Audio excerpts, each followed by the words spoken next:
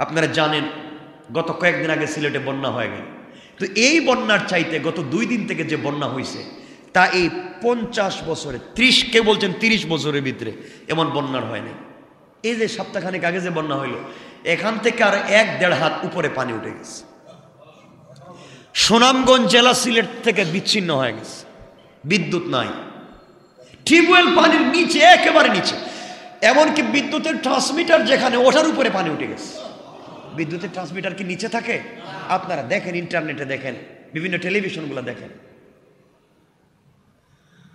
মানুষ টিলার উপরে আশ্রয় নিয়েছিল, মনে করেছিল হয়তো উপরে ডল নামছে, সকালে চলে যাবে।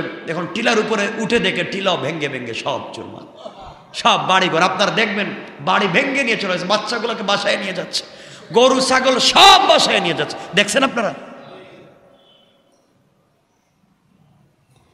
গোয়েনঘাট কানাইঘাট জৈন্তা, মানুষের চিৎকার, হাহাকার, পানি নাই, খাবার। বিদ্যুৎ নাই।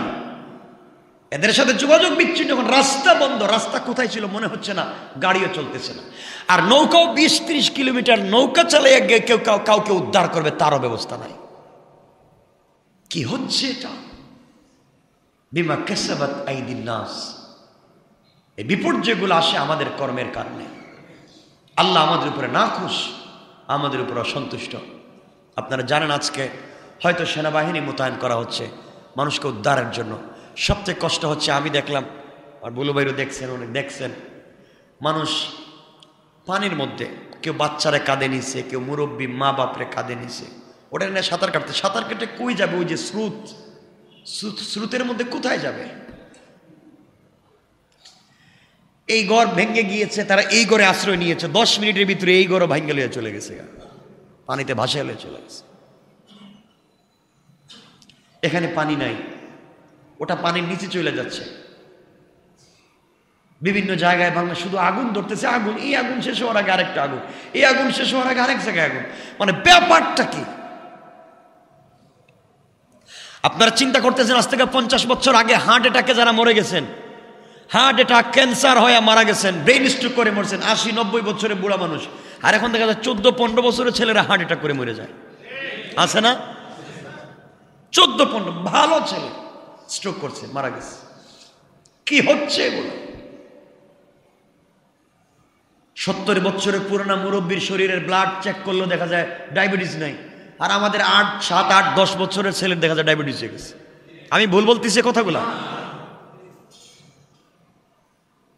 কোথায় চলে যাচ্ছি আমরা? একবারও চিন্তা করতেছি না, রব থেকে আমরা দূরে চলে যাচ্ছি আর আমাদের উপরে বারবার বিপদ আসতেছে বিপদ আসতেছে। ভূমিকম্পের মাত্রা বেড়ে যাচ্ছে। বন্যা তো বন্যা, এটা তো বলার মতো না। আপনারা আজকে খবর নেবেন সিলেটের কি অবস্থা, আল্লাহর কাছে দোয়া করি, আল্লাহ যেন সবাইকে হেফাজত করেন। এই আমাদের সুরমার পানি তো কত উপরে উঠে গেছে, সুরমার পানি। এখন কুশিয়ারার পানিও যদি উঠে যায়, তাহলে সিলেটের তো দুইটা ছোট ছোট নদী, একটা সুরমা, একটা কুশিয়ারা। যদি কুশিয়ারা উঠে তাহলে দক্ষিণ সিলেট যারা, দক্ষিণ সুরমা সহ এই সাইটের মানুষ, তাও চলে যাবে। যারা ছিল, তাও চলে যাবে। আল্লাহর কাছে চাইব আল্লাহ যেন সবাইকে হেফাজত করেন। আমরা যার যার জায়গা থেকে সবার খোঁজখবর নেব। সবার খোঁজখবর নেব। অনেক আত্মীয় স্বজন টেলিফোন দিচ্ছে। টেলিফোন তো দিচ্ছে, যার খবর নিবে তার তো মোবাইল বন্ধ। বিদ্যুৎ নাই। তাদের ঘরে হয়তো খাবার ছিল, এখন তো খাবারও নাই। গরু, ছাগল নিয়ে মানুষ কই যাবে? ত্রিপল নাইনে ফোন দিচ্ছে, আমি দেখলাম অনেক প্রশাসনের ভাইরা যাইতে চায়, ওরা যাবে কেমনে? রাস্তার তো কোনো নিশানা নাই। নৌকা নিয়ে যাবে কেমনে? ওটা তো স্রোত, উপরে ঢল, পাহাড়ি ঢল নামতেছে। কোথার থেকে কোথায় নিয়ে যাচ্ছে? আপনারা যারা জাফলঙ্গে গিয়ে আপনারা ঘুরেন স্পোর্টে সুন্দর বিনোদন স্পটে ঘুরেন। এখানে তো এখন পানি হবে কমকে দশ, পনেরো, বিশ হাত। তার উপরে তো পানি হবে। আল্লাহ মাফ করুক। সবাইকে হেফাজত করুক। সিলেটবাসী সহ গোটা দেশবাসীকে হেফাজত করুক। আল্লাহ রব্বুল ইজ্জতুল জালাল বললেন, হে ইমানদারগণ যারা ঈমান এনেছ, যারা আমি আল্লাহর উপর ঈমান এনেছ, যারা আমার রাসূলের উপরে ঈমান এনেছ যারা কিয়ামতের দিনের উপরে ঈমান এনেছ, যারা আমার কিতাবের উপরে ইমান এনেছ, যারা ফেরেশতাদের উপরে ইমান এনেছ। আল্লাহ রাব্বুল ইজ্জত ওয়াল জালাল বললেন, হে ইমানদারগণ কুনু কওয়ামিনা বিল কিসতি শুহাদা লিল্লাহ তোমরা ন্যায়ের উপরে প্রতিষ্ঠিত থাকো, আল্লাহর ওয়াস্তে ন্যায়সঙ্গত সাক্ষ্য প্রদান করো। ওয়ালাউ আলা আনফুসিকুম আবিল ওয়ালিদাইনি ওয়াল আকরাবিন। তাতে তোমাদের নিজের বা পিতা মাতার অথবা নিকটাত্মীয় আত্মীয় স্বজন নিকটবর্তী যারা আছে, তাদের যদি ক্ষতিও হয়ে যায়, তবুও তারা তোমরা যেন ন্যায় প্রতিষ্ঠিত হওয়া থেকে, ন্যায় সঙ্গত সাক্ষ্য প্রদান করা থেকে তোমরা বিরত হয়ে যাইও না। আল্লাহ রব্বুল ইজ্জত জালাল কত বড় বিষয় বললেন। আল্লাহ বললেন, গোলামের দল, তোমরা যদি ইমানের কথা বলো ইমানের তাকাজা হলো তোমরা ন্যায়ের উপরে প্রতিষ্ঠিত থাকো। ইমানের তাকাজা হলো তোমরা ন্যায় সাক্ষ্য প্রদান করো। ন্যায়সঙ্গত সাক্ষ্য প্রদান করে সাক্ষ্য দিলে যদি তোমার বাবার বিরুদ্ধে চলে যায়, যদি তোমার মায়ের বিরুদ্ধে চলে যায় যদি তোমার নিকটবর্তী নিকট আত্মীয়দের বিরুদ্ধে চলে যায়, যদি তোমার স্বজনের তোমার কোনো ক্ষতিও হয়ে যায়, এরপরও ন্যায়সঙ্গত সাক্ষ্য প্রদান করা থেকে, ন্যায়ের উপরে প্রতিষ্ঠিত হওয়া থেকে বিচ্যুত হয়ে যায়ও না। আর আজকে এক টাকা, দুই টাকা, দশ টাকার ক্ষতি হয়ে যাবে জেনে আমরা ন্যায় তো করি না, বরং অন্যায়ের পক্ষে আমরা সাফাই গাইতে থাকি। এজন্যে আমার বন্ধুগর আল্লাহর হস্তে অন্যায় করবেন না। ন্যায়ের উপরে থাকেন। আপনি আপনি জানা দরকার। বাংলাদেশের ভিতরে আপনারা ভালো করে জানেন, এ কথা রাগ করবেন না। বাংলাদেশের অধিকাংশ মানুষ যারা কর্মচারী রাখে, তারা জান্নাতে যাইতে কষ্ট হবে। এর কারণ হলো হান্ড্রেড পারসেন্ট বাংলাদেশের মানুষ কর্মচারীদের হক আদায় করে না। এজন্য আমার বন্ধুগণ ভালো করেই বুঝবেন। আল্লাহর ওয়াস্তে এজন্য আল্লাহ ভালো করেই বলছেন, তোমরা ন্যায়ের উপরে প্রতিষ্ঠিত থাকো। ন্যায়ের উপরে প্রতিষ্ঠিত থাকো। আপনারা যারা দোকান মালিক, বড় বিজনেসের মালিক, আপনাদেরকে বলছি, আপনি যে দামি চেয়ারে বসেন এসি রুমে বসেন, আপনার বাচ্চাদেরকে ইংলিশ মিডিয়ামে পড়ান। আপনি যত টাকার মালিক হচ্ছেন ব্যাংক ব্যালেন্স গাড়ি বাড়ির মালিক হচ্ছেন। সব কিছুর পিছনে আপনার দোকানের কর্মচারীর অবদান। ওরা রাত দিন লোহা পিটাইয়া কাজ করে, রাত দিন মাথার গাম পায়ে ফেলে কাজ করে। আর তারা কাজ করার বিনিময়ে আপনি টাকা গোলা নিয়ে আরামায়েসে জিন্দেগি কাটান। একদিনও খবর নিলেন না, আপনার ঘরে প্রতিদিন গুস্ত থাকে, মোরগ থাকে, কুরমা পোলাও থাকে। আর আপনার ঘরের কর্মচারীর ঘরে বছরে একদিনও খাবার থাকে না। আপনি খবর নিতে পারলেন না। আপনি কাবা গড়ে গিয়ে যতই কান্নাকাটি করেন, আল্লাহ বলবেন গোলাম রে তিন চার হাজার কিলোমিটার এসে আমার হক আদায় করতে চাও, আর তুমি যেই গড়ে থাকো, সেই গড়েরই হক আদায় করো নাই। কথা বলেন না কেন? তুমি যেই গড়ে থাকো, সেই গড়ের হক আদায় করতে পারলা না। এত দূর এসে আমার হক আদায় করে লাভ কি? আমার হক হয়তো আমি মাফ করে দিতে পারি, গোলাম। কিন্তু বান্দার হকের ব্যাপারে আমি আল্লাহ কোনো স্যাক্রিফাইস করব না। ঠিক কিনা জোরে বলেন? সব কিছুর দাম এখন কমছে। কমছে মনে হয়। আপনাদের দোকানদের কর্মচারীদের বেতন বাড়াইছেন? বলেন না কেন? আর কম হয়। হাসতেছেন আপনারা, ইনসাফ কার নাম? আমার রসুল তো এমন ছিলেন। আমার রসুল তো এমন ছিলেন, নিজে না খেয়ে তার কর্মচারীকে খাইয়েছেন, নিজের কাপড়, পোশাক খুলে দিয়েছেন, নিজের বিছানা পর্যন্ত ছেড়ে দিয়েছেন। সেমান আল্লাহ পড়ে এটা রসুলের আদর্শ। আমার বন্ধুগণ, আপনি তো এমন মানুষ। আপনার ঘরে খাবার রান্না হয়, কর্মচারীর জন্য আলাদা রান্না হয়, যারা বাড়িতে কৃষিকাজের জন্য লোক রাখেন। আমি ভালো করে বুঝি, আমি ভালো করে জানি, যারা কৃষিকাজের জন্য লোক রাখে, তাদের জন্য ঘরে আলাদা রান্না করা হয় আর নিজেদের জন্য আলাদা রান্না হয়। কথা বলেন না কেন? কেয়ামতের দিন জবাব দিবেন, তার জন্য কেন আলাদা রান্না করলেন? তার জন্য যে ডাল, ও ডাইল, অজু জাইজ। কর্মচারীর জন্য ডাল রান্না করছে, এ তো পানি দিছে, মনে হইতেছে এটা পানি, এটা অজু করা যাবে। তরকারিতে ঠিক মতো লবণ নাই। নাই এগুলা? আচ্ছা। আপনি একই অফিসে চাকরি করেন, আপনি বস, আপনি মালিক।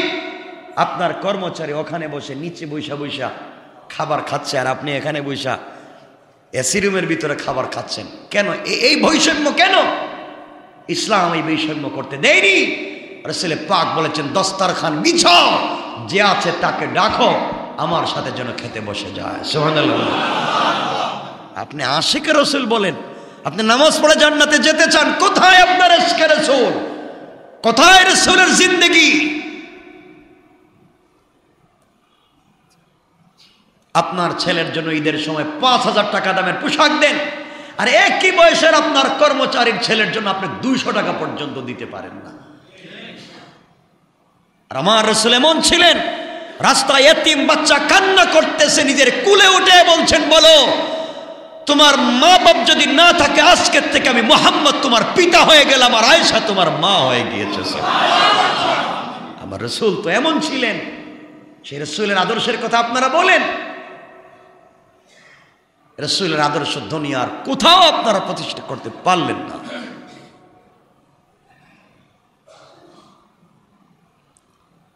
আমার বন্ধগণ হজরত ওসমান তো এমন ছিলেন। হজরত উসমান বড় ধনী ছিলেন, তার কর্মচারীর অভাব ছিল না। তিনি গড়ে বলে দিতেন, আমার কর্মচারীর জন্য আজকের দিনের সর্বোচ্চ সুন্দর, সর্বোচ্চ ভালো খাবার তৈরি করে দাও। কর্মচারীরা দেখতো, তারা কুরমা পোলাও খায়। আর হজরত ওসমান শুকনা রুটি জৈতুন তৈলের মধ্যে বিজাইয়া বিজাইয়া খায়। হজরত ওসমান তো এমন ছিলেন। তিনি রসুলে পাকের জিন্দগি ফলো করেছেন। নিজে কষ্ট করে জীবন যাপন করেছেন, কারণ আমি আমার হকের ব্যাপারে বুঝি। বান্দার হকটাকে পরিষ্কার করে দিতে হবে। এই জন্যে হজরত আমর নিজে তালিযুক্ত কাপড় পরিধান করতেন। তার দেশের জনগণের কাছে নতুন জামা পৌঁছে দিতেন কণ্ঠে কিনা? কেমন ছিল তাদের মধ্যে ইনসাফ? আর আপনার কর্মচারী যদি বলে, স্যার সব কিছুর দাম বাড়ছে, একটু দুই হাজার টাকা বাড়াই দেন না কারণ যা, আগামী মাস থেকে চাকরিতে আসার দরকার নেই। বহুত লোক তোর চাইতে কম টাকা বেতনে লোক পাই। এগুলা কি বলেনি আল্লাহ জানেন হারাম, একবারে হারাম। এই যে এই যে করোনাকালীন সময়, মহামারীর সময়, যদি কারও চাকরিকে না করে দেন আপনি হারাম। কারণ আপনার সুদিন এসেছিলাম যখন সুদিন ছিল তার, তখন আপনার গড়ে ছিল, এখন তার দুর্দিন তাকে বের করে দিয়েছেন কেন? কথা বলেন না কেন? দুর্দিনেই তো কাছে থাকার দরকার ছিল। দুর্দিনেই তো পাশে থাকার দরকার ছিল, আপনি তাকে কেন না করে দিয়েছেন? এজন্য আমার বন্ধুগণ, আল্লাহ রব্বুল ইজ্জতুল জালাল বলছেন, অবশ্যই অবশ্যই তোমরা ন্যায় প্রতিষ্ঠা করো, যে যেখানে তাকে ন্যায় প্রতিষ্ঠা করো। পারবেন তো ইনশাল্লাহ? বলেন না। এখানে যারা আছেন, প্রায়ের দোকান আছে বিজনেস আছে ফ্যাক্টরি আছে আছে না? কর্মচারীর বেতন কমাইবেন? কিছু বলেন না কেন? না বাড়াইয়া বাড়াইবেন, ইনশাল্লাহ বলেন না। আরে বাড়াইয়া দিয়েন, ইনশাল্লাহ বলেন। ইনশাল্লাহ জোরে বলেন, ইনশাল্লাহ। দিয়েন, বাড়াইয়া দিয়েন। কর্মচারীর বেতন বাড়াইয়া দিয়েন। শান্তি কি আর মজা কোন জিনিস? বিপদ কোন জিনিস কেয়ামতের দিন বুঝতে পারবেন আপনারা।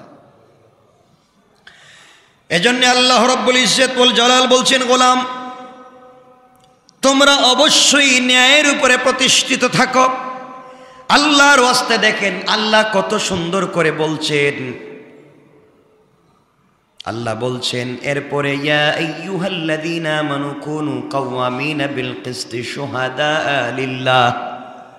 আল্লাহ বলছেন, আল্লাহর ওয়াস্তে তোমরা ন্যায় সঙ্গত সাক্ষ্য দেও। আল্লাহ বলছেন, আল্লাহর ওয়াস্তে আল্লাহর ওয়াস্তে তোমরা ন্যায়ের উপরে প্রতিষ্ঠিত থাকো। আল্লাহ একবার বলে আল্লাহ নিজে বলছেন, লিল্লাহ, আল্লাহর ওয়াস্তে। আমরাও তো মানুষকে যখন আর কাজ হয় না, তখন এই কথাই বলি, নাকি? ভাই, আল্লাহর ওয়াস্তে তোর কাছে বলছি, এটা করে দে। আল্লাহ এইভাবে বলছেন, আল্লাহর ওয়াস্তে বলছি, তোমরা ন্যায়ের উপরে প্রতিষ্ঠিত থাকো, নামাজ দিয়ে জান্নাতে যাইতে পারব না, যদি ন্যায়ের উপরে প্রতিষ্ঠিত না থাকো। আর কেমনে বুঝাইলে বুঝবেন, আল্লাহর কেমনে বুঝাবেন এজন্যে আমার বন্ধুগণের পরে বলছেন এরপরে বলছেন তোমরা ন্যায়ের উপরে প্রতিষ্ঠিত থাকতে মাতা পিতার যদি ক্ষতি হয়ে যায় নিকটবর্তী আত্মীয় স্বজনের যদি ক্ষতি হয়ে যায় তবুও তোমরা ন্যায়ের উপরে প্রতিষ্ঠিত থাকো আর ন্যায় প্রতিষ্ঠিত থাকতে যদি তোমাদের এমন অবস্থা হয়ে যায় পরে আল্লাহ বললেন ওয়াইয়াকুন غنيا أو فقيرا فالله أولى بهما আল্লাহ রাব্বুল ইজ্জাতুল জালাল বললেন, যদি তোমরা ন্যায়ের উপরে প্রতিষ্ঠিত থাকতে গিয়া ন্যায় সঙ্গত কাজ করতে গিয়া ধনী যদি গরিব হয়ে যায়, ধনী যদি, তাও তাও কি করো? তোমরা যদি কর্মচারীর বেতন দিতে গিয়া মনে কর গরিব হয়ে যাবে, তাও দিও না। তাও ন্যায় কায়েম করো, ইনসাফ কায়েম করো। তোমরা যদি মনে করো কর্মচারীর বেতন দিতে গেলে তোমার অবস্থা খারাপ হয়ে যাবে, তাও ভারসাম্য রক্ষা করো, ন্যায় প্রতিষ্ঠিত করো। আমি বলছি, আপনারা কিছু বলতে পারলেন না। কে বলছেন? এরপরে ন্যায় প্রতিষ্ঠিত করে। যদি না করো, যদি না করো, আল্লাহ বলছেন এরপরে যদি না করো, ফল্লাহু আউলা বিহিমা। যদি তোমরা ন্যায় প্রতিষ্ঠিত না করতে পারো, যদি তোমরা ঘরের কাজের বুয়ার উপরে ন্যায় প্রতিষ্ঠিত না করো, যদি তোমার কর্মচারীর উপরে ন্যায় প্রতিষ্ঠা না করো, আর তোমরা নিজেকে বড় মনে করো, তোমার টাকা কমে যাবে, তোমার পকেটে ধরে যাবে, আল্লাহ বলছেন, মনে রাখবা, তোমাদের চাইতে আমি আল্লাহ তাদের শুভাকাঙ্ক্ষী বেশি। আল্লাহ বলছেন, তাদের শুভাকাঙ্ক্ষী তোমাদের চাইতে আমি আল্লাহ। তাহলে কত রাগ করে, কত দুঃখ নিয়ে কথা বলতে পারেন। প্রথমে বলছেন, আল্লাহর ওয়াস্তে আমি আল্লাহ বলছি, তোমরা ন্যায় প্রতিষ্ঠা করো। আল্লাহর ওয়াস্তে আমি আল্লাহ বলছি, তোমরা ন্যায়সঙ্গত সাক্ষ্য দাও। আল্লাহর ওয়াস্তে আমি আল্লাহ বলছি, তোমাদের মা বাবার যদি ক্ষতি হয়, তোমাদের নিকটাত্মীয়দের ক্ষতি হয়, তোমাদের বড় কোনো ক্ষতি হয়ে যায় তোমরা দড়ি থেকে যদি গরিবও হয়ে যাও, তাও ন্যায় প্রতিষ্ঠা করো। আর যদি তোমরা ন্যায় প্রতিষ্ঠা করতে না পারো, তোমরা আমানতের খেয়ানত করো, তোমরা কর্মচারীদের সাথে খারাপ ব্যবহার করো, তাদের হক ঠিক মতো আদায় করে না দেও, তোমরা যাই মনে করো, আমি আল্লাহ তাদের জন্য শুভাকাঙ্ক্ষী, আমি আল্লাহ তাদের জন্য যথেষ্ট করেন শুভাকাঙ্ক্ষী কত সুন্দর আল্লাহর বাচনিক ভঙ্গি।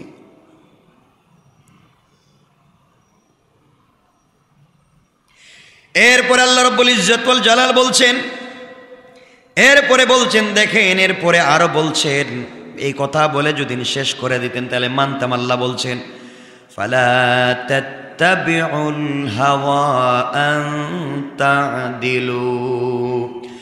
আল্লাহ রব্বুল ইজ্জতুল জালালের পরে বললেন, তোমরা বিচার করতে গিয়ে তোমরা রিপু কামনা বাসনার অনুসরণ করো না।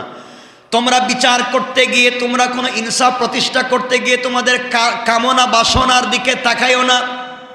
তোমার আত্মীয় অন্যায় করেছে, আত্মীয়কে বাঁচাবার জন্য এই দুষ অন্যের উপরে দিও না। তোমার নিকট আত্মীয় কর্মচারীকে বাঁচাতে গিয়ে অন্যের উপরে দুষ চাপাইও না। তোমার নিকটাত্মীয়র বেতন বাড়াইয়া দিয়েছ, একই কাজ করে আরেকজন তার বেতন কম। আল্লাহ বলছেন, এই কাজের জন্য কেয়ামতের দিন জবাব দেওয়া লাগবে। এগুলো আছে? বলেন না।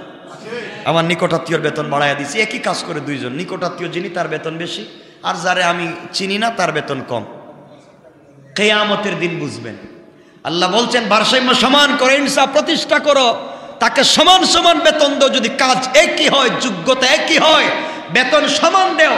তোমার নিকটাত্মীয়কে যদি বেশি দিতে হয়, বেতনের বাহিরে এক্সট্রা তার বাড়িতে পৌঁছে দাও। কথা বলেন? এগুলো আমার আমরা করি না মনে হয়। কথা বলেন না কেন? করি। এই যে আল্লাহ বুঝেন ভালো করে যে আমরা করি। এজন্য কোরআনে আয়াত নাজিল করছেন। নাইলে করতেন না। এরপর আল্লাহ রাবুল ইজ্জতুল জালাল বলছেন, তোমরা যদি ন্যায় প্রতিষ্ঠিত করতে গিয়ে, আমানত রক্ষা করতে গিয়ে তোমরা ন্যায় প্রতিষ্ঠিত করার জন্যে যদি কাজ না করো, তোমরা কর্মচারী বা যারা তোমার অধীনস্থ কাজ করে, কোনোভাবে যদি ঘুরিয়ে পেঁচিয়ে তাদেরকে বিপদগ্রস্ত করো রাগারাগি করো, ঘুরিয়ে পেঁচিয়ে তাদেরকে বেতন কম দিয়ে তুমি যদি তোমার কাজ হাসিল করতে চাও, পরের শব্দে আল্লাহ কি বলছেন? আল্লাহ বলছেন ও ইনতালু আও তুরিদু ফাইন্নাল্লাহ কানা বিমা তা'মালুনা খাবীরা। আল্লাহ রাব্বুল ওয়াল জালাল বললেন আর যদি তোমরা ঘুরিয়ে পেঁচিয়ে কথা বলো কিংবা পাশ কাটিয়ে যাও। সুবহানাল্লাহ বলবেন না। আপনারা মনে করছেন এই শব্দ আল্লাহ জানেন না মনে আমরা ঘুরিয়ে পেঁচিয়ে বলি। এ মনে হচ্ছে আমি জান্নাতের ভিতরে বাস করতেছি। এই চিন্তাই নাই। আমরা কর্মচারীকে বা তোমার বেতন না এর দুই তিন মাস যাক, এখন দোকানে ব্যবসা বাণিজ্য ভালো হচ্ছে না। দেখতেছো না তুমি? সব কিছুর দাম বেড়ে গেছে। এখন মাল পণ্য, এখন আনতে পারতেছি না কাঁচা মালের দাম বেশি। এখন তোমার বেতন বাড়াবার কথা কেমনে চিন্তা করো? এটা নাম ঘুরিয়ে পেঁচিয়ে। কথা বলেন না কেন? মানে তাকে কোনোভাবে যদি দুই মাস না দিয়ে আরও দুই মাস কাজ করানো যায়। আল্লাহ এই কথাটা বলছেননি। মনে হচ্ছে আমার বিরুদ্ধে যাচ্ছে না, আপনাদের বিরুদ্ধে যাচ্ছে। কে কথাই বলেন না দেখতেছি। এটা বলিনি আমরা, এটা বলা লাগবে। বলি। আল্লাহ বলছেন, তোমরা যদি ঘুরিয়ে পেঁচিয়ে কথা বলো, কিংবা কিংবা কিংবা তোমাদেরকে কিছু বলছে, তোমরা না শোনার বান করে পাশ কাটিয়ে চলে যাও। করি?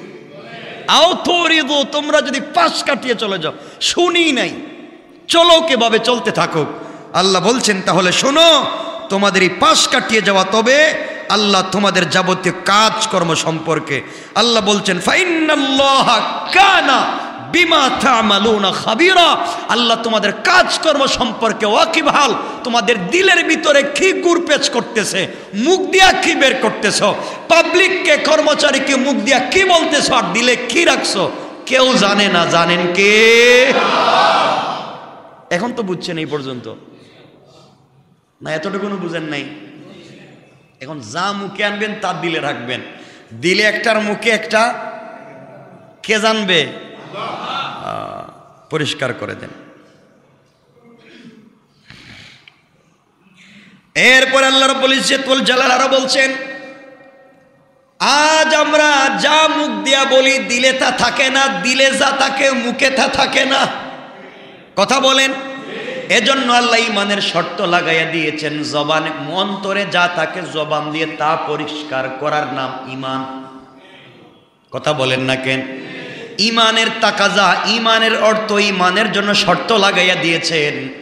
তোমরা কালিমা বলবা, অন্তরে যা বলবা, জবান দিয়ে তা ব্যক্ত করার নাম হলো ইমান আর আমরা জবানে যা বলি অন্তরে তা নাই, অন্তরে যা আছে, জবানে তা নাই। আল্লাহ বলছেন, জবানও যেমন জানি, অন্তর তেমন জানি। গোলাম রে, তুমি আমার রাডারের বাহিরে যাওয়ার কোনো সুযোগ নাই। এই জন্যে আমার বন্ধুগান আমরা নামাজে দাঁড়াইয়া সেজদায় গিয়া পড়তেছি, সুবহান রব্বিয়াল আলা এদিকে চিন্তা আমার দোকানে কর্মচারী চুরি করতেছে নি। মাল কয়টা আসছে? ফ্যাক্টরিতে আগুন লাগল কিনা? আজ বাড়িতে কি আছে? গড়ে কি আছে? সম্পদ কেমনে বাড়ানো যায়? সম্পদ কেমনে আরও বাড়ানো যায়? এ নিয়ে যত চিন্তা করেন না কেন, যত থিওরি আর ফর্মুলা তৈরি করেন না কেন, মনে রাখবেন, পরিষ্কার করে বলে দিই, আমাদের দিল এবং মুখ যতক্ষণ পর্যন্ত এক না হবে, দিল এবং মুখ যতক্ষণ পর্যন্ত এক না হবে ততক্ষণ পর্যন্ত কিন্তু আমরা ইমানদার হতে পারব না। এখন আপনারা বলেন, যার দিলে একটা মুখে আর একটা তারে, আপনারা কি বলেন? সবাই বলেন, আল্লাহ বলছেন, কোরআন ইদা যা খেল মুনাফিকুন। ইয়া রাসূলুল্লাহ, মুনাফিকেরা আপনার কাছে আসবে ক্বালু নাশহাদু। এরা এসে বলবে রসুল আল্লাহ আমরা ইমান এনেছি। আপনার উপরে, আল্লাহর উপরে, আমরা ইমান এনেছি কিতাবের উপরে। আল্লাহ বলছেন, ইয়া রাসূলুল্লাহ, ওরা জবানে বলছে ইমান এনেছি, আসলে সবগুলো মুনাফিক। ঠিক কিনা বলেন? রসুল আল্লাহ আপনি জানেন না, এরা জবানে বলছেন, নাশহাদু, আমরা ইমান এনেছি, আমরা রসুলকে মানি। আপনি জানেন না, এরা আসছে আপনার সাথে শয়তানি করার জন্য। আল্লাহ কোরআনে বলছেন, ওয়াইদা খালাউ ইলা শায়াতিনহিম ক্বালু ইন্না মাআকুম, ইন্নামা নাহনু মুস্তাহজিউন। তারা বলছে, পয়গাম্বরে আরবি আপনার কাছাকাছি গিয়ে বলছিল ইমান এনেছে। আসলে তারা আপনার সঙ্গে মস্কারা করেছে, আসলে আপনার সঙ্গে চারটা বিদ্রুপ করেছে। কালু ইন্না মাকুম আই ইন্না মাকুম তারা তাদের নেতাদের কাছে গিয়ে বলছে, আমরা তোমাদের সাথে আছি। ইন্নামা নাহনু মুস্তাজিউন, মুসলমানদের সঙ্গে দুষ্টামি টাট্টা করবার জন্যে তাদের কাছে গিয়েছিলাম বলেন নাউজুবিল্লাহ। এগুলো আছে না? এজন্য আমার বন্ধুগণ, এগুলার থেকে বের হওয়া লাগবে। অনেক কথা আল্লাহ রব্বুল ইজ্জতুল জালাল বলছেন। আল্লাহ বলছেন, আমি অনেক কিছু তোমাদের জন্য প্রত্যাশা করি না। আল্লাহ রব্বুল ইজ্জতুল জালাল মধ্যখানে অনেক কথা বলছেন ইমান কার নাম? এতক্ষণ তো বলছেন, অন্তরে কি, জবানি কি ইমান আনো, ন্যায়সঙ্গত সাক্ষ্য দো এরপরে মধ্যখানে বলছেন, হে ইমানদারগণ ইয়া ইউহাল্লাদিনা আমানু, আমিনু। এখানে অনেক লম্বা তফসির আমরা এটা বলব না আজকে। ইয়া ইউহাল্লাদিনা আমানু, হে ইমানদারগণ আমিনু। ইমান আনো। এটা আবার কেমন কথা? বুঝেন নাই?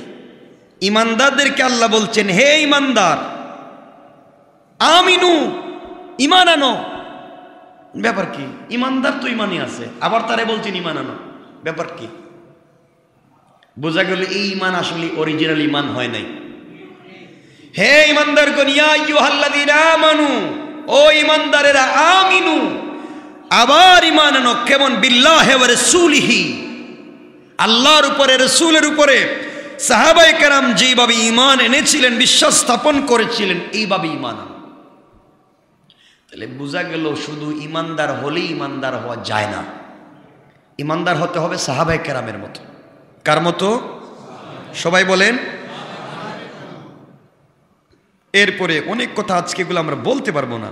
এরপরে রাতে বলছেন ইন্নাল্লাদিন আমানু থুম্মা কাফারু থুম্মা আমানু থুম্মা কাফারু। এরপরে বলছেন, যারা একবার মুসলমান হয়ে পুনরায় কাফের হয়ে গেছে, আবার মুসলমান হয়েছে, আবারও কাফের হয়েছে এবং কুপুরিতেই রয়েছে। কথা কি বুঝতেছেন আপনারা? ইমান আনছে, পরে ইমান ছেড়ে কাফির হয়ে গেছে, আবার ইমান আনছে, আবার কাফির হয়ে গেছে। হয়নি এভাবে সারতে? হয়। আল্লাহ বলছেন, এইভাবে যদি কেউ কাজ করে, আল্লাহ বলছেন, আল্লাহ তাদেরকে কখনো ক্ষমা করে দিবেন না। কখনোই ছেড়ে দিবেন না। এগুলো অনেক লম্বা কথা, আমরা সব বলব না। আল্লাহ বলছেন ওয়ালা আল্লাহ বলছেন, তাদেরকে কখনো কখনো মাফ করবেন না এবং কখনো তাদেরকে হেদায়ত দিবেনও না। এরপরে বলছেন الذين يتخذون الكافرين أولياء من دون المؤمنين আর তোমাদের মধ্যে কিছু লোক তো এমন হয়ে গিয়েছে যারা মুসলমানদেরকে বর্জন করে কাফেরদেরকে বন্ধু বানিয়ে নিয়েছে কথা কি বুঝতে পেরেছেন সব আল্লাহ জানেন কোরআনে সব আছে এজন্য কোরআনটা একটু মনোযোগ দিয়ে আমরা পড়ি এবং বুঝি আল্লাহ বলছেন আমি জানি কিছু মুসলমান আছে যারা হজ করে মসজিদও বানায় মাদ্রাসাও বানায়। মাদ্রাসারও দায়িত্বশীল, মসজিদেরও দায়িত্বশীল, বড় বড় ইয়েতিমখানাও বানায়, টাকা পয়সাও দান করে। কিন্তু তারা মুসলমানদেরকে, অলিয়া উলিয়াদেরকে বর্জন করে, কাফেরদেরকে বন্ধু বানিয়েছে।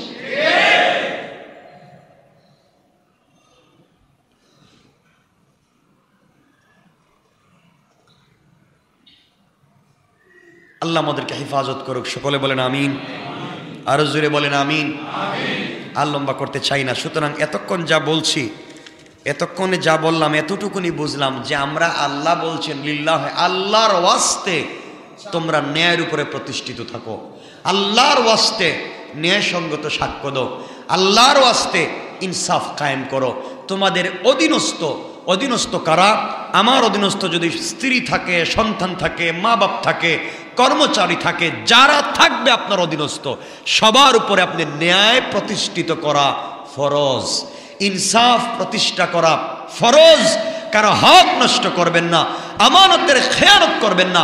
আপনার পকেটের টাকাও যদি খরচ হয়ে যায়, আপনার পকেটের টাকা যদি নষ্ট হয়ে যায়, তারপরও ন্যায় প্রতিষ্ঠা করা লাগবে। আজকে জলে স্থলে শুধু বিপর্যয়। আল্লাহ কোরআনে বলছেন, জহর আল ফাসাদ ফিল বাররি ওয়াল বাহর বিমা কাসাবাত আইদিন নাস। জলে এবং স্থলে যত বিপর্যয় আসে, মহামারী আসে, বিমা কাসাবাত আইদিন নাস, এগুলা সব তোমাদের নিজের হাতের খামাই। আর জলে স্থলে বিপর্যয়। আপনারা জানেন, গত কয়েকদিন আগে সিলেটে বন্যা হয়ে গেল। তো এই বন্যার চাইতে গত দুই দিন থেকে যে বন্যা হয়েছে তা এই পঞ্চাশ বছরে, ত্রিশ, কে বলছেন তিরিশ বছরের ভিতরে, এমন বন্যার হয় নাই। এই যে সপ্তাহখানেক আগে যে বন্যা হইল, এখান থেকে আর এক দেড় হাত উপরে পানি উঠে গেছে। সুনামগঞ্জ জেলা সিলেট থেকে বিচ্ছিন্ন হয়ে গেছে। বিদ্যুৎ নাই। টিউবওয়েল পানির নিচে, একেবারে নিচে।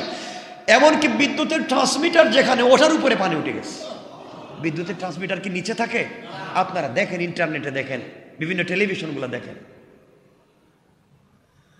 মানুষ টিলার উপরে আশ্রয় নিয়েছিল, মনে করেছিল হয়তো উপরে ডল নামছে, সকালে চলে যাবে। এখন টিলার উপরে উঠে দেখে টিলাও ভেঙ্গে ভেঙ্গে সব চুরমান সব বাড়িঘর, আপনারা দেখবেন, বাড়ি ভেঙ্গে নিয়ে চলে যাচ্ছে বাচ্চাগুলোকে বাসায় নিয়ে যাচ্ছে। গরু, ছাগল সব বাসায় নিয়ে যাচ্ছে। দেখছেন আপনারা? গোয়েনঘাট, কানাইঘাট, জৈন্তা, মানুষের চিৎকার, হাহাকার, পানি নাই, খাবার। বিদ্যুৎ নাই। এদের সাথে যোগাযোগ বিচ্ছিন্ন যখন রাস্তা বন্ধ। রাস্তা কোথায় ছিল মনে হচ্ছে না, গাড়িও চলতেছে না। আর নৌকাও বিশ ত্রিশ কিলোমিটার নৌকা চালিয়ে কাউ কাউকে উদ্ধার করবে, তারও ব্যবস্থা নাই। কি হচ্ছে এটা? বিমা কেসাবাত আইদিন নাস। এই বিপর্যয়গুলো আসে আমাদের কর্মের কারণে। আল্লাহ আমাদের উপরে না খুশ আমাদের উপরে অসন্তুষ্ট। আপনারা জানেন আজকে হয়তো সেনাবাহিনী মোতায়েন করা হচ্ছে। মানুষকে উদ্ধারের জন্য। সবচেয়ে কষ্ট হচ্ছে, আমি দেখলাম, আর বুলুবাইরও দেখছেন অনেক দেখছেন, মানুষ পানির মধ্যে, কেউ বাচ্চারে কাঁদে নিছে, কেউ মুরব্বী মা বাপরে কাঁদে নিছে। ওটা নিয়ে সাঁতার কাটতে, সাঁতার কেটে কই যাবে ওই যে স্রোত? স্রোত- স্রোতের মধ্যে কোথায় যাবে? এই ঘর ভেঙে গিয়েছে, তারা এই ঘরে আশ্রয় নিয়েছে, দশ মিনিটের ভিতরে এই ঘরও ভাঙ্গে লিয়ে চলে গেছে পানিতে ভাসে লিয়ে চলে গেছে। এখানে পানি নাই। ওটা পানির নিচে চলে যাচ্ছে। বিভিন্ন জায়গায় বাংলা শুধু আগুন ধরতেছে, আগুন। এই আগুন শেষ হওয়ার আগে আরেকটা আগুন। এই আগুন শেষ হওয়ার আগে আরেক জায়গায় আগুন। মানে ব্যাপারটা কি? আপনারা চিন্তা করতেছেন, আজ থেকে পঞ্চাশ বছর আগে হার্ট অ্যাটাকে যারা মরে গেছেন হার্ট অ্যাটাক ক্যান্সার হয়ে মারা গেছেন ব্রেন স্ট্রোক করে মরছেন, আশি নব্বই বছরের বুড়া মানুষ, আর এখন দেখা যায় চোদ্দ পনেরো বছরের ছেলেরা হার্ট অ্যাটাক করে মরে যায়। আছে না? চোদ্দ পনেরো, ভালো ছেলে। স্ট্রোক করছে, মারা গেছে। কি হচ্ছে এগুলো? সত্তর বছরের পুরোনো মুরব্বীর শরীরের ব্লাড চেক করলেও দেখা যায় ডায়াবেটিস নাই। আর আমাদের আট, সাত, আট, দশ বছরের ছেলের দেখা যায় ডায়াবেটিস হয়ে গেছে। আমি ভুল বলতেছি কথাগুলা? কোথায় চলে যাচ্ছি আমরা? একবারও চিন্তা করতেছি না রব থেকে আমরা দূরে চলে যাচ্ছি আর আমাদের উপরে বারবার বিপদ আসতেছে বিপদ আসতেছে। ভূমিকম্পের মাত্রা বেড়ে যাচ্ছে। বন্যা তো বন্যা, এটা তো বলার মতো না। আপনারা আজকে খবর নেবেন সিলেটের কি অবস্থা, আল্লাহর কাছে দোয়া করি, আল্লাহ যেন সবাইকে হেফাজত করেন। এই আমাদের সুরমার পানি তো কত উপরে উঠে গেছে, সুরমার পানি। এখন কুশিয়ারার পানিও যদি উঠে যায়, তাহলে সিলেটের তো দুইটা ছোট ছোট নদী, একটা সুরমা, একটা কুশিয়ারা। যদি কুশিয়ারা উঠে তাহলে দক্ষিণ সিলেট যারা, দক্ষিণ সুরমা সহ এই সাইটের মানুষ, তাও চলে যাবে। যারা ছিল, তাও চলে যাবে। আল্লাহর কাছে চাইব আল্লাহ যেন সবাইকে হেফাজত করেন। আমরা যার যার জায়গা থেকে সবার খোঁজ খবর নেব। সবার খোঁজ খবর নেব। অনেক আত্মীয় স্বজন টেলিফোন দিচ্ছে। টেলিফোন তো দিচ্ছে, যার খবর নিবে তার তো মোবাইল বন্ধ। বিদ্যুৎ নাই। তাদের ঘরে হয়তো খাবার ছিল, এখন তো খাবারও নাই। গরু, ছাগল নিয়ে মানুষ কই যাবে? ত্রিপল নাইনে ফোন দিচ্ছে, আমি দেখলাম অনেক প্রশাসনের ভাইরা যাইতে চায়, ওরা যাবে কেমনে? রাস্তার তো কোনো নিশানা নাই। নৌকা নিয়ে যাবে কেমনে? ওটা তো স্রোত, উপরে ঢল, পাহাড়ি ঢল নামতেছে। কোথা থেকে কোথায় নিয়ে যাচ্ছে? আপনারা যারা জাফলঙ্গে গিয়ে আপনারা ঘুরেন, স্পোর্টে, সুন্দর বিনোদন স্পোর্টে ঘুরেন, এখানে তো এখন পানি হবে কমকে দশ, পনেরো, বিশ হাত। তার উপরে তো পানি হবে। আল্লাহ মাফ করুক, সবাইকে হেফাজত করুক, সিলেটবাসী সহ গোটা দেশবাসীকে হেফাজত করুক, দুনিয়াবাসীকে হেফাজত করুক, সিলেটের মানুষকে ধৈর্য ধারণ করবার তৌফিক দান করুক, সবরে জামিল দান করবার তৌফিক দান করুক, সবাই যার যার জায়গা থেকে আমরা তাদেরকে সাপোর্ট করব, সহযোগিতা করব, আল্লাহ যেন কবুল করেন, সবাই পড়েন, আমিন। অনেকে দোয়া চেয়েছেন, আপনারা একে অপরের জন্য দোয়া করবেন।